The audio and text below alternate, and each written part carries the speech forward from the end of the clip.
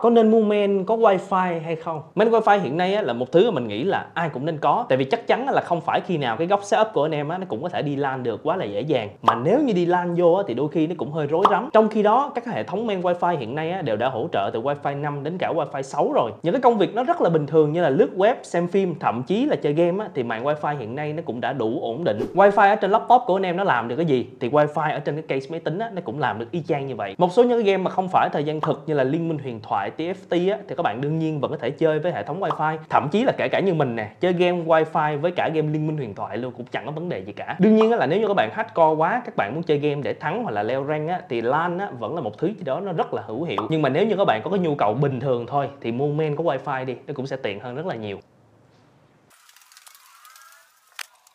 Hoặc là chôm cái USB wifi giống như mình cũng được.